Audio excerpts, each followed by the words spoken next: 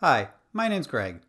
When building an Appian application, security should be considered at every stage, from planning to development to testing. In this video, you will learn how a small elite team might set their application security to ensure each team member can perform their job functions.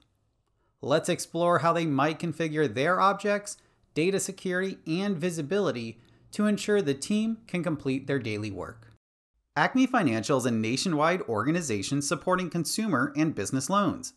There are many departments supporting the needs of the business, including one department that handles IT support. The team consists of 10 employees who handle all IT support requests within the organization. When an employee submits a request for IT support, a team member will review the request, then assign the ticket to another team member to complete. The assigned team member will then review the ticket, complete the work, update the ticket, then communicate with the requester that the work has been completed. The use case represents a typical case management application. For this team, all team members need to be able to access all tickets. There is no sensitive data, and all team members have the same level of access. Throughout the video, we will look at how object security, data security, and visibility can help create a more secure application. Let's start with the site object. The site object provides the customized experience to the team and to all employees of Acme Financial. The object itself would have all users set as viewers. However, let's say there is a reporting dashboard that should only be accessible to the IT support team. You can set the visibility of this page so that it is only visible to application administrators and to the IT support team. The record types that would contain the data and record actions to create, review, and update the tickets would all have all users set as viewers. However, access to specific records and record actions should be limited.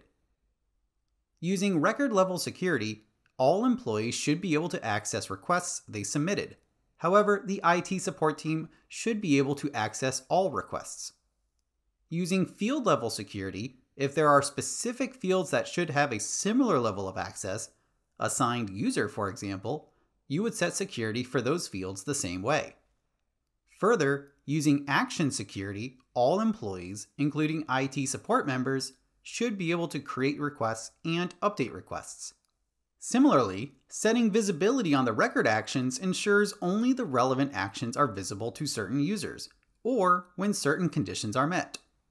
For example, you can only close cases that have been assigned to you or only when the user is part of a specific group. For example, IT managers. Consider only showing record actions when they are relevant in a process workflow or when a record achieves a specific status. The process models that contain the workflow for creating and updating requests should also have security applied. At a minimum, all users should have the initiator permission on the process models that they would interact with. For processes that are only relevant to the IT support team, like the close request process, only their subgroup would have initiator permissions. All employees of the organization can create new requests and update existing requests.